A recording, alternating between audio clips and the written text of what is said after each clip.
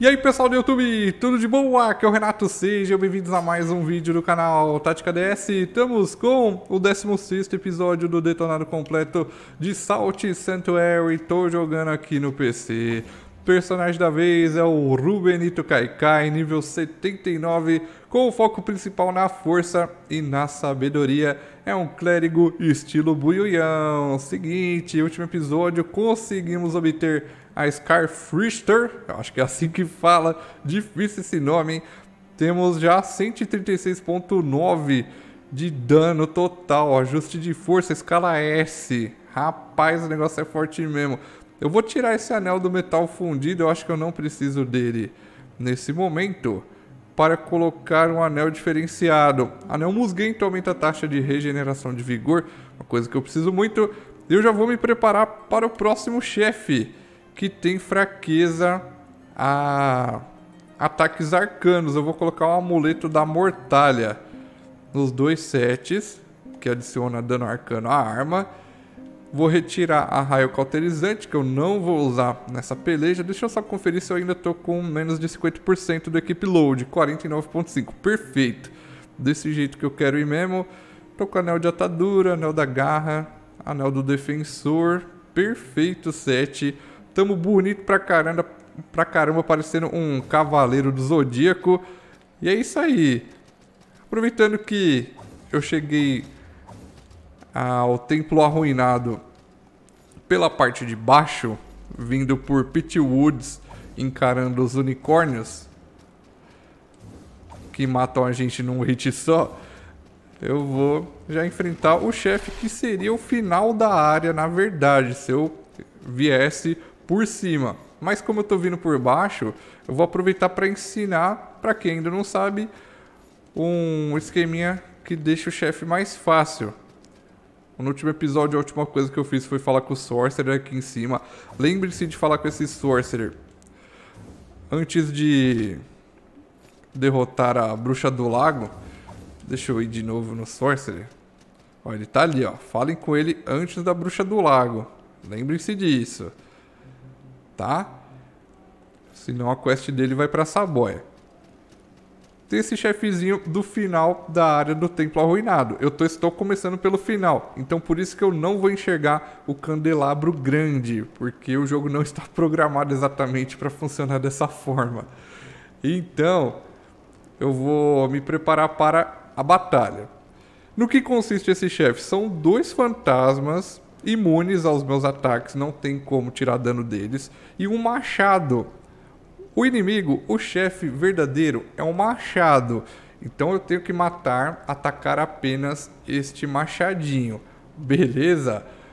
Pera aí, deixa eu só fechar aqui o negócio, a janela aqui do computador. Pronto. Para eu me concentrar direito. Vou matar esse machado tanto quando ele estiver fincado no chão ou quando ele estiver na mão dos fantasmas. Dá para atacar nos dois momentos. O foco é o machado, beleza? E caso eu queira que a luta seja mais fácil, eu não vou para a parte direita da tela, vou ficar apenas na parte esquerda, porque apenas um dos dois fantasmas vai ser atraído pela minha pessoa. Esse é o esquema maluco. Vou passar meus buffzinhos. Creio que a luta vai ser a coisa mais fácil do mundo. Tá lá o cobiçado. Olha o tamanho dessa fera, bicho. Já vou chegar dando um ataquezinho. Na hora que ele tira o machado do chão, cuidado, porque você pode tomar um hit. Eu já vou pegando. É daqui mesmo, Ele vai retirar de novo? Não, não retirou. Eu vou atacando. E na hora que ele for retirar, eu saio de perto. Na hora que ele pega, eu ataco de novo. Aí tá atacando de novo no chão. Ficar aqui para não tomar as magiadas. Mesmo assim pegou um pouco de magia em mim. Passar pedra elétrica. Vou me restaurar com a cura.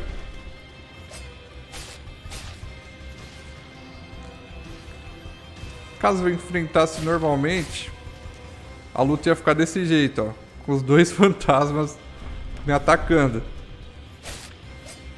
Aí vai de você. Se você quiser enfrentar de um jeito ou de outro, Aí Cada um tem a sua preferência. Eu tenho que me focar mais na esquiva nesse caso.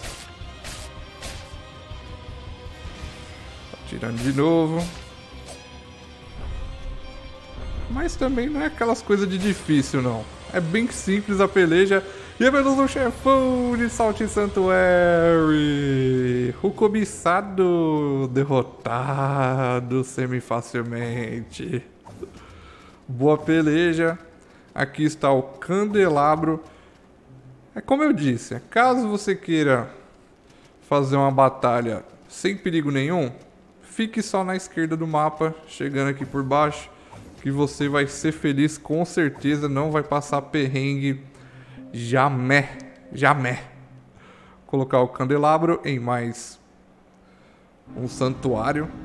Esse santuário é o santuário do Ruined Temple. Retirar o candelabro. Vir aqui por fora. Vamos ver o que, que tem. Pitwoods, Bosque da Escuridão. Fadinhas. Olha que bonitinho. Que prece mais legal. No que consiste as fadinhas? Espera aí que eu já mostro as fadinhas. Vou dar uma upada primeiro. Árvore de técnicas. Eu tava com o objetivo de abrir armadura leve de classe 3. Onde é que ela tá? Tá aqui em cima. É meu objetivo. Posso vir pela direita ou pela esquerda, vai ter o mesmo tanto de níveis que eu vou gastar. Destreza, destreza, por aqui é destreza e resistência. É destreza, não tem jeito. Porque aqui é caminho do caçador, não tem como fugir disso. Preciso de mais quatro pérolas negras para atingir a armadura leve de classe 3. Tudo bem, beleza que eu vou chamar um guia. Eu tenho seis guias de pedra. Compensa colocar um guia em todos os santuários para eu poder viajar mais facilmente. Vou continuar agora vindo lá de cima de Ziggurat do Pó, que é uma outra área que me dá acesso ao Ruined Temple, onde eu comecei a explorar no episódio passado aqui. No retrasado, na verdade. Eu lembro que eu abri o atalho. O portãozinho, é, na verdade... Tá, na, na verdade que eu abri foi outra coisa.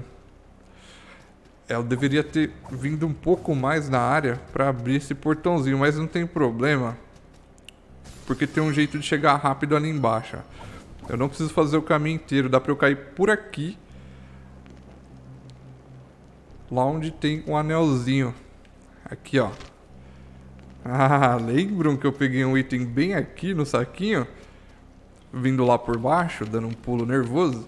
Não dá pra chegar aqui rápido dessa forma. É bom saber os macetinhos. Os macetes mais heróicos da história. Pular de novo. Sem muitas dificuldades. Chifre de diabrete lanceiro. Que isso, ó. Mais um chifrinho. Cinzas de sensal. Camafeu afogado. Caso você queira farmar camafeu afogado, existe essa forma de chegar rápido aqui. Foi isso aqui que abrimos no episódio passado, essa passagem. E na verdade eu deveria ter explorado até abrir aqui em cima. Exatamente. Aí sim eu posso vir mais facilmente para o resto dessa área. Aqui é uma porta fechada. Uma parede fechada, na verdade.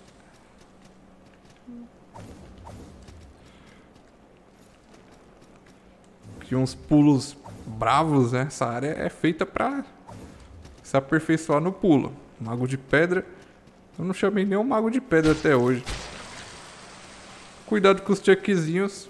Eles não são tão difíceis, mas na hora que ele te pega, ele te gruda no chão e te mata facilmente. Anel do céu flamejante.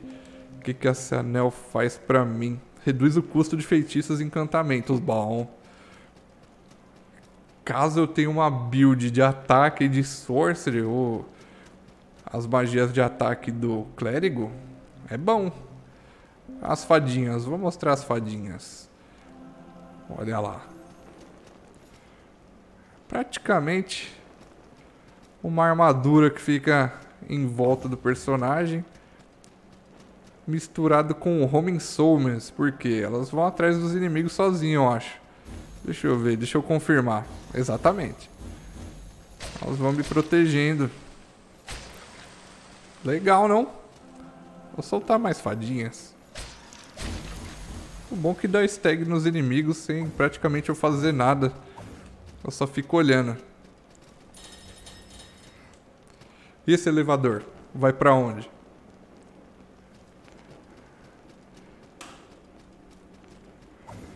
Ah, tá. Vai pra praia distante. Exatamente. Ó, daqui da praia distante, então. Eu vou colocar até um. Mais um guia. Para eu viajar mais fácil para cá. Aí da praia distante eu acesso facilmente o chefão da área. Já tem o chefe aqui, por incrível que pareça. Então o Zigurate do pó eu praticamente explorei inteira no episódio passado. Faltava pouca coisa. Vamos vindo, vamos vindo. O chefe vai estar tá depois dessa subidinha. Ah lá. Candelabro, várias velhinhas acesas. E bora lá, eu vou tirar as fadinhas que eu não vou usar, mas nem lascando. Anel de atadura eu estou. Anel de garra, musguento. É, nesse momento eu acho que vai compensar colocar o amuleto de Ossobio, porque eu vou descer a lenha nesse chefe. Eu vou dar muito combo nele, vou gastar muito estamina. O amuleto do Ossobio, ele faz os meus golpes gastarem menos energia. É bom. E cura eu vou manter. Vou tirar o anel do defensor. Ou não. Não, vou ficar com o anel do defensor. Anel da garra eu vou sacrificar. Para colocar o inicial do clérigo que reduz pela metade o efeito do uso de foco sobre a fadiga. Isso é bom pra mim. Tá bom, vou passar a armadura divina, arma abençoada e partiu! Mais um chefe, The Bloodless Prince, o príncipe sem sangue. Esse aqui é bem facinho. É um chefe bem de boa.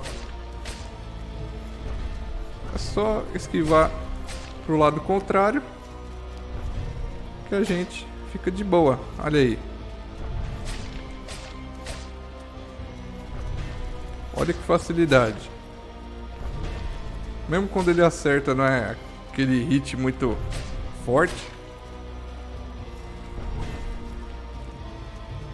Passar a armadura divina de novo. Arma abençoada. Opa, agora ele me acertou. Preciso recuperar minha mana. Eita, nós! Ele acertou de novo. Veio pulando. Ah, mas não tem problema, deu pra ver que... Bem tranquilo.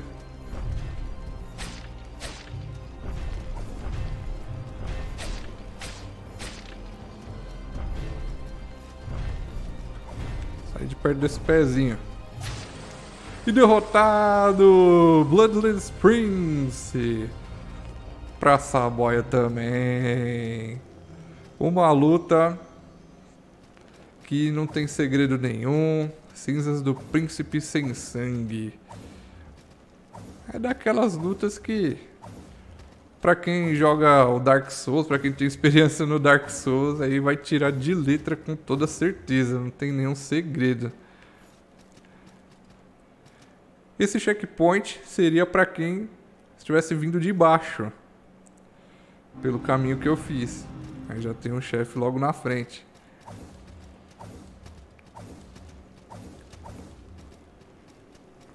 Vamos vindo pelo corredor e mais um encontro com o espantalho. Ela sabe o que eu já fiz, eu com letra maiúscula. Sim, Ela acha que sabe? Curioso. Eu tomo aquilo que desejam. Já tomei muitas coisas de muita gente.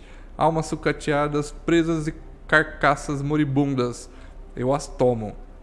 Reinos de pó e mentiras, príncipes mesquinhos, lordes corruptos, eu as tomo. Então você é o bichão mesmo, você é o malvadão. Tá certo. Templo arruinado. Tá, e agora eu tô chegando por cima no templo arruinado. Tudo faz sentido. Calma aí, aranha. Que aranha braba. Espadachins invisíveis. Tudo indo contra a minha pessoa. Ali embaixo tem alguma coisa. já tô enxergando. Tem uma armadilha aqui. Se eu pisar, vai vir uma bola de pedra. A velha armadilha. Foi você que jogou essa bola no Rubenito, rapaz. Respeite o Rubenito. Aê, garoto. Subindo, subindo. Uma porta semi-escondida. Ataque isto baú, é verdade. É um mímico. Armadura do guia. Legal, o guia é, é, o NPC que eu mais uso né, em toda a história. Agora temos a armadura do guia. Onde que eu vim parar? Que a gente já conhece. A parte de cima do templo arruinado. Eu já passei por aqui. Logo que eu cheguei nessa parte leste dessa ilha, sei que pode se chamar de ilha, eu já conheci ali em cima. Então agora já está aberto.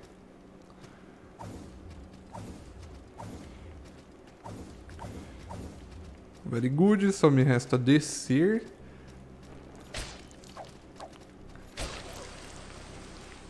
Esses caras aqui são bravos. Clérigo de pedra. Olha o maluco aqui embaixo, ó. Espadachim. Eu vou tentar enfrentar separadamente os dois. Tem mais um espadachim. Cadê o outro? Ih, me esqueceu. Vacilou, bichão. Pegar aqui pelos braços. O cara tem mil braços. Bizarro. Ali em cima tem coisa. Poema de um soldado, apenas três. Ó, já abri passagem pro restante da fase.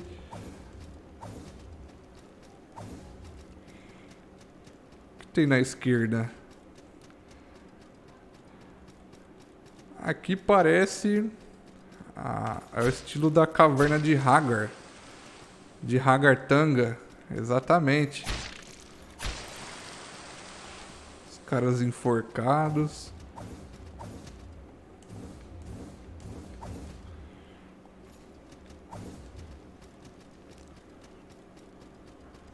Opa!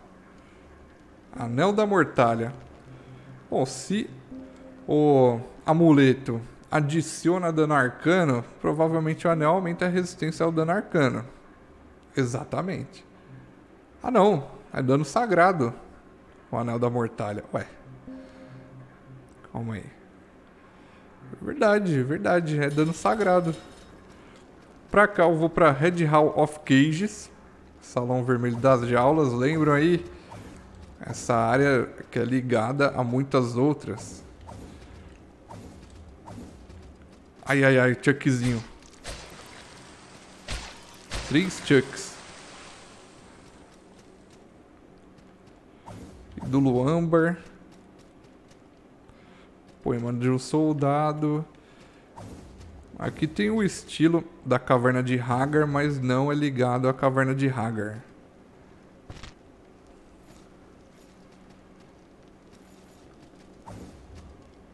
Bem bolado. Acender a tochinha pra andar nos tablados. Espírito elétrico. É uma Sorcery, provavelmente. Eu vou até dar uma olhada para confirmar se é Sorcery mesmo. Exatamente. Não nos interessa.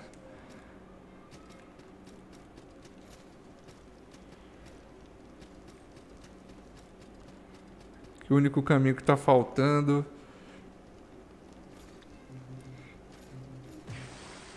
Eu vou aqui tranquilamente.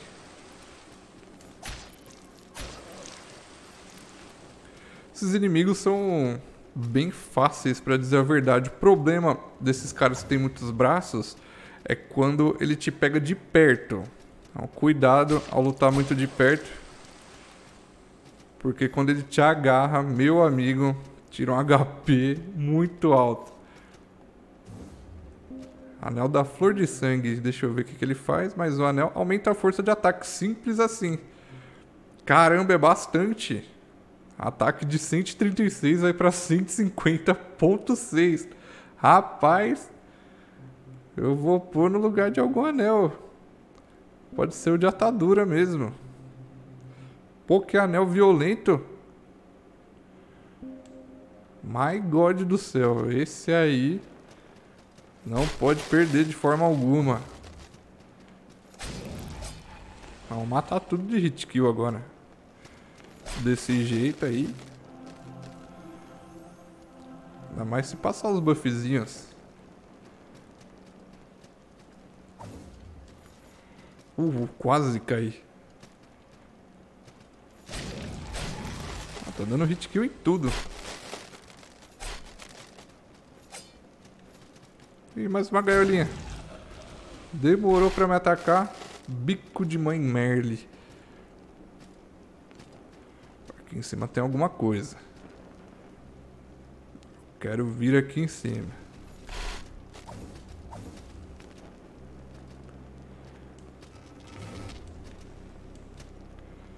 Aglomerado de diamantes, bom item.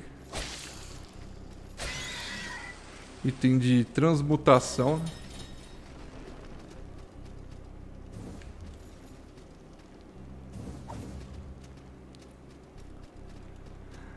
Tá.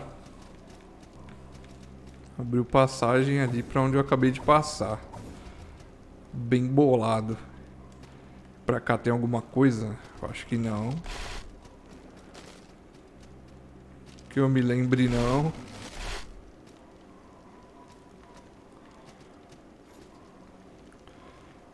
Descendo, descendo as escadinhas. Bom, aqui eu volto no santuário. Ah, mas eu acho que tem alguma coisa ali. Tem uma exploração que eu passei direto. Ali em cima. Opa, calma aí. Vou voltar. Tô ligado que ficou faltando alguma coisa ali pra esquerda. Só tenho que lembrar como é que vai pra lá. Talvez seja por aqui. Isso. Ordens de um senhor.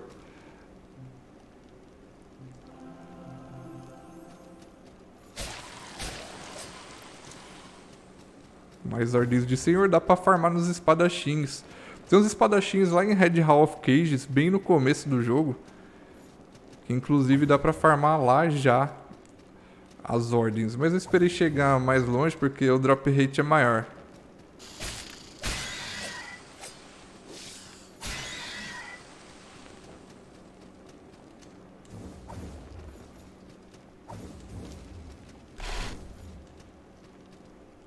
Lança pungente, pérola cinza. Ih, rapaz.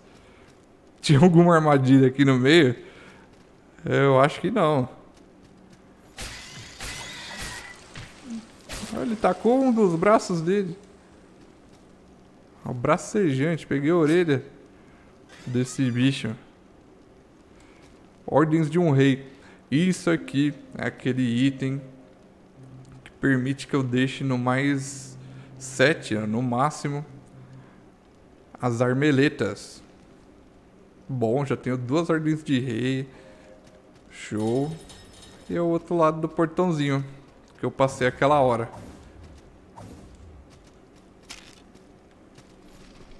Hum. Tava ali no chão, armadilha. Bom, very good, pessoal. Por aqui, creio eu que esteja tudo explorado. Com 25 minutos de vídeo. Eu vou aproveitar esse momento aí para chegar no rank no rank máximo do meu credo. Como é que eu vou fazer isso? Tá faltando algumas coisas. Deixa eu ver algum lugar que tenha o maluco do trabalho. O Salão Vermelho das Jaulas, eu acho que tem um cara aqui faz os trabalhos. Não, não está aqui. Confundi de novo. Talvez esteja na Aldeia dos Sorrisos. Aqui mesmo. Chega aí, meu querido. O que que tá faltando fazer? Preciso de mais cinzas de cranígneo, nervos de caçador de coração e orelha de leproso. Eu sei onde pegar tudo isso. Eu vou começar pelo item do cranígneo. Onde tem mais desse inimigo abundantemente? É no Castelo das Tempestades. Sabe aquelas cabecinhas do crânio que vem pegando fogo, que segue a gente? Então, aqui tá cheio é exatamente desse bicho que vai dropar o que eu quero. Vou colocar um anel que aumenta o drop rate, pedra de destino. E destruir esse povo aqui. Pegar os cranígneos. Não preciso matar ninguém, esses caras aqui. Acho que vai dropar rápido. Aí já veio um item de um deles. Pronto. Já tem os três. Poderia ter feito isso antes no detonado. Não fiz. Sei nem porquê. Deveria ter feito antes. Agora eu vou pra... Charco Fedorento. Porque aqui tem leproso e tem o caçador de nervos também. Os leprosos são esses caras que dão envenenamento na gente. Os caras, inclusive, são bem brabos. Ah, só tomar cuidado aí, porque os bichos são nervosos. Antídoto. É neles que eu vou ficar farmando. Descanso. E venho de novo. Estão faltando duas orelhas de leproso. Eu vou ficar matando até pegar as três. Já volto. Muito bom, pessoal. Já peguei as três orelhas de leproso, naqueles inimiguinhos chatos pra caramba que ficam dando envenenamento rapidamente na gente. E o que tá faltando agora é o nervo de caçador de coração. Tem um caçador de coração que tá bem aqui do lado, mas para chegar nele eu tenho que passar por essas mortas furiosas e vir aqui por cima. Fica atrás desse ogrão aí. Vamos lá, como é que eu vou matar esse ogrão? Ele tá dando hit kill. Muito fácil. Bom, vou ficar matando esse olhinho aqui até ele me dropar dois nervos dele. Demorou. Uou! Beleza. Foi rapidinho, matei apenas três desse inimigo e já deu o que eu queria. Pra voltar para o santuário é por aqui, ó. Rapidinho. Não precisa se preocupar, pisar ali no chão cheio de lama, porque só vai pegar poison.